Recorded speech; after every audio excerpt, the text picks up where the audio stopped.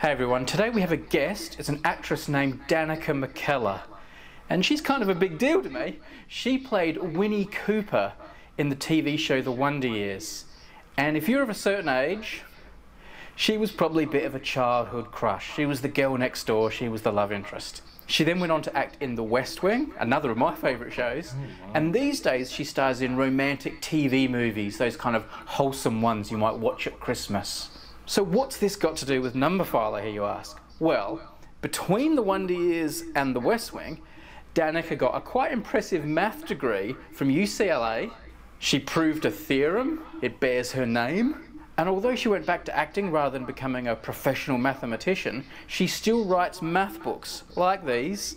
They're aimed at young people, especially girls. She's passionate about education reform. She's testified before Congress even. Now, I did a full 45 minute interview with her for the Numberphile podcast. You can watch the whole thing on the Numberphile 2 YouTube channel or on your podcast player. Just search for Numberphile on your podcast player. There'll be links in the description below. But if you want to just watch some of the shorter highlights of the interview, well, that's right now. Thank you for joining us. Um, I was a big Wonder Years fan, like all people my age. I grew up with the Wonder Years, and Winnie Cooper was my girl next door. This is the character that you played in the Wonder Years.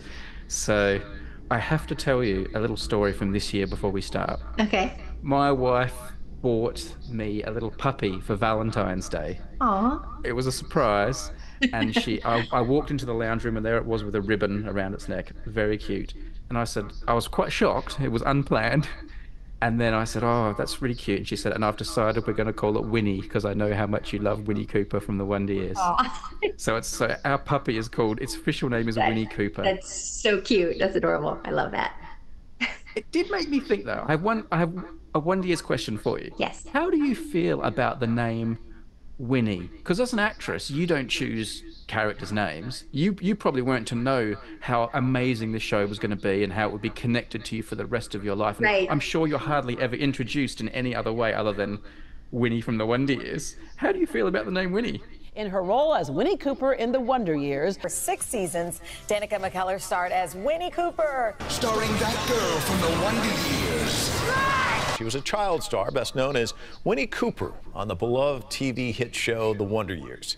Oh, it's adorable. It's so cute. I mean, I'm used to it, of course. Um, you know, in the first episode of The Wonder Years, the idea was that Winnie didn't want to be called Winnie anymore. I wanted to be called Gwendolyn. I don't want to be called Winnie anymore. My real name is Gwendolyn and uh, of course that didn't stick. But that no. was one of the first things that my character even says in the show is i don't want to be called i, I don't want to be winnie anymore. But guess what? She stayed winnie and so did i. First of all i was not aware of how successful the wonder years was to the extent that it was. There's no way. There's one person on set once said hey how do you feel about being america's sweetheart? I was like what? I no i just no concept of it until later so during that, I mean, I, I never had any doubt that I was going to go to college. And I knew that I just felt like I had a lot of options and I was going to see. And I knew that I loved acting. I didn't know that I would, you know, want to do something more than acting. But when I got to college, I just instinctively knew that I wanted to take a break and explore math because I thought, you know, I'm never going to like go back later and study math, but I can always go back later to acting. So, and I, and I felt so alive when I was doing these difficult math problems. And i and i needed that that palate cleanser to take me from being so associated with this one very popular show and this thing that child actors go through where there's an insecurity that develops because like well what if i didn't everybody thinks i'm so great because of this one thing. You know what if i didn't have that? Who would i be? Where would my value be? And so i had to discover what that was on my own and it was so diametrically different from acting being a math major and becoming a tutor in a calculus tutor in math department and fully immersing myself in that world where I didn't wear makeup, I didn't care what I was wearing.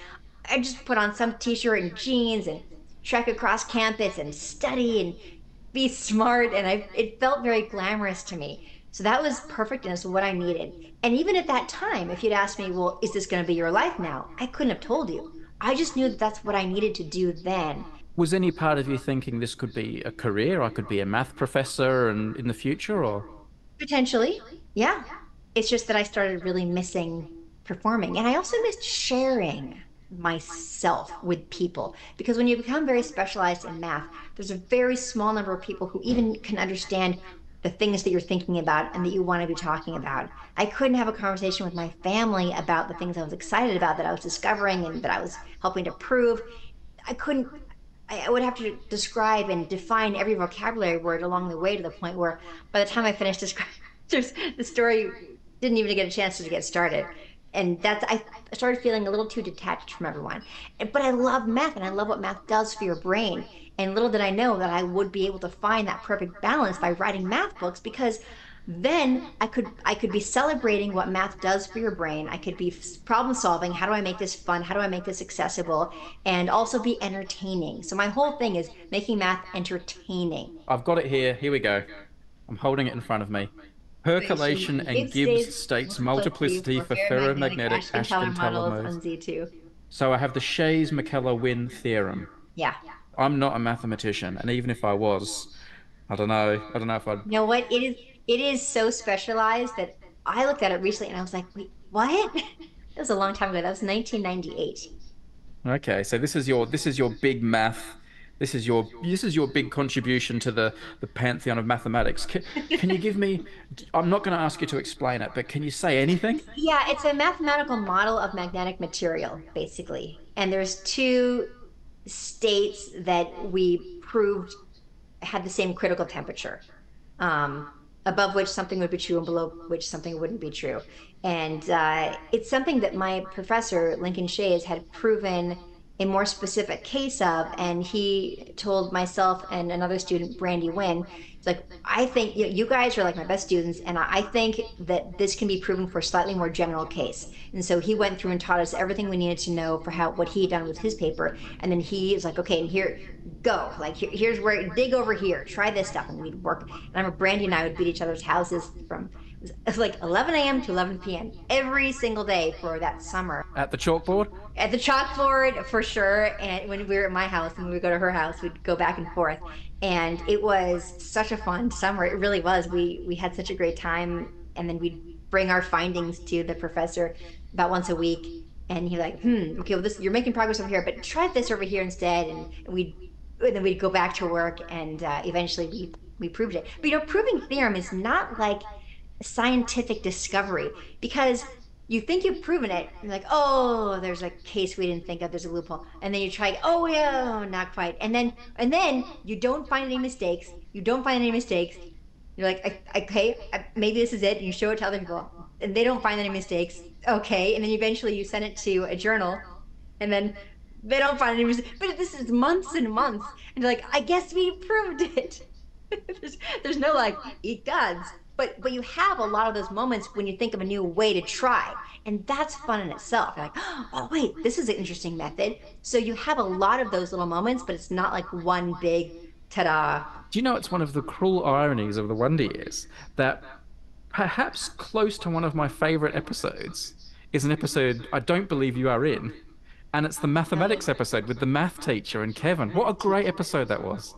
I know. There are two of them there's the one where he, the teacher helps him, right? And the next, wasn't there? And then the one where he dies. Not your friend, Mr. Arnold. Your teacher. But that is that is that is an episode I have gone back to like as an adult a few times, and uh, yeah, ironic that you, that it's one that you didn't participate in, and you're the you were the mathematician in the cast. So right, right. Although there was that one episode where I do better on the SATs than Kevin did. Yes, I got a yes. higher math score. They they did put and you didn't want to tell him, and you didn't want to tell him, and that's like that's so what you're about on brand for you. That's exactly the problem. Early early seventies, yeah. I don't think it's such a good idea to talk about them like this. They're kind of private.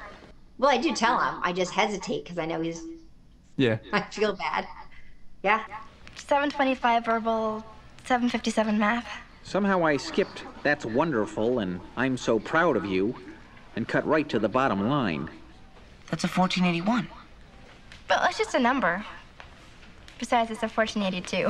Danica McKellar, Winnie from the Wonder Years. I can't believe I spoke to Winnie from the Wonder Years. Amazing. And I spoke to her about mathematics. you sure did. and in all that time, you never felt like telling me you were smart? Kevin, you knew I was smart. In the fourth grade, I knew you were good at math, okay? I didn't know you were some kind of Einstein or someone. Thanks for watching. Just a reminder again, the longer 45 minute version of this interview, you can watch that on the Numberphile 2 YouTube channel or you can listen to it as a podcast. Search for the Numberphile podcast. And if you've never heard of the Numberphile podcast, please do go and listen. There are loads of interviews with famous mathematicians, people you know from Numberphile, all sorts of people, an NFL footballer, even a prison inmate. Check it out, there'll be links below. Thanks for watching, we'll see you again soon. And don't forget to check out Danica's books. McKellarmath.com, there'll be a link below. Wow.